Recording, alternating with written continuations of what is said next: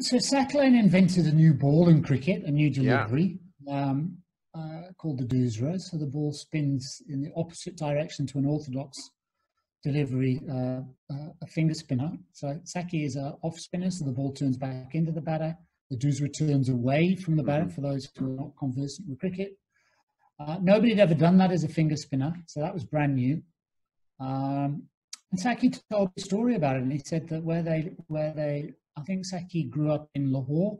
They lived in a in a tenement block, and they would play cricket on top of the ten, tenements, mm-hmm. uh, like a lot of kids would in in uh, in Pakistan.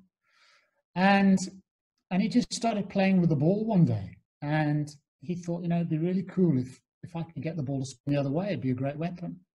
And so he just started playing with the ball and, and, and working with the ball to see, you know, how he could get leverage on the ball to get his hand into a position for the ball to for the seam to spin the other way.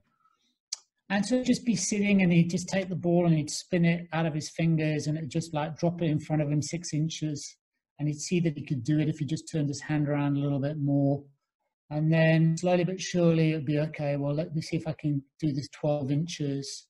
And so he managed to get his hand around and he could do 12 inches. And slowly but surely, from six inches to 12 inches mm. to 18 inches to two foot, and so on and so on until he got started to progress into his bowling action now. So obviously there's a change in wrist action, and now he's got to work with his bowling action.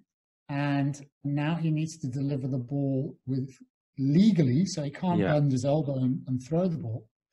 He needs to deliver the ball legally, but but get his wrist into a position so the ball is going to spin. And he said it took him somewhere in the region of about two and a half years to master this.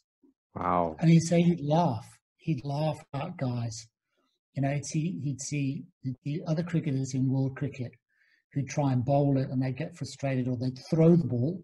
So it'd be an illegal delivery. And he'd say, it's amazing to think that it took him two and a half years and other people would think they could do it in a couple of weeks.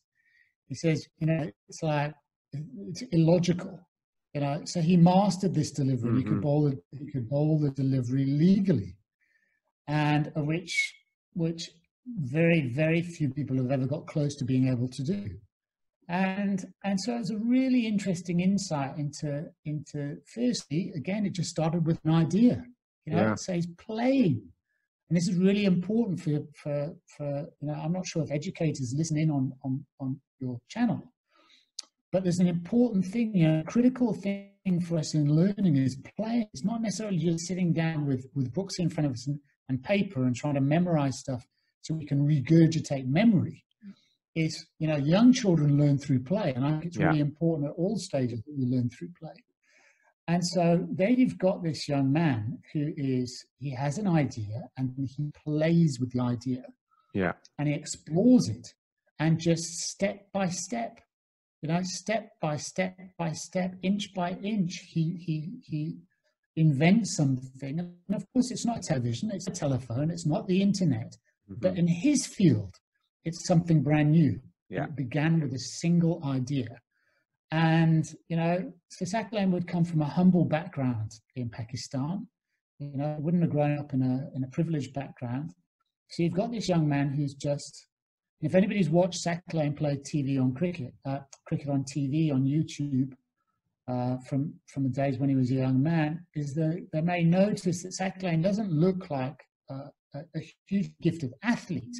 You know, he doesn't move like Lionel Messi playing football.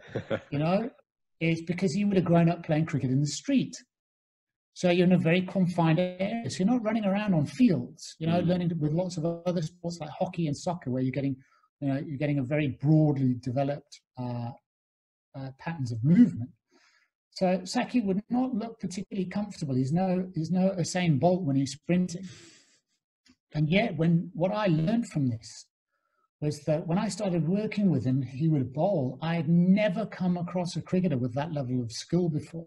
Mm. And for anybody who's watched the international darts players or the professional darts players on TV and they're aiming at treble 20 and they can get three darts in treble 20. And, you know, for any of us who've thrown darts at a dartboard, we know quite how miraculous that is. yeah. is that that would be the level of skill that Saqlain would have with bowling. It changed the way that I coached. Yeah. Because it opened up a lens on the level of skill that was possible. Because up until then, I'd never seen anything like that. Yeah. And, and to, excuse me, and to this day, I've barely seen anybody replicate a level of skill of that nature. But what it is saying to me, if you watch Saqlain and looked at his athleticism, you'd say that he is not an innate athlete. But then when you see what he learned and he mm. taught himself and he mastered, then you would realize that, that the sky is the limit.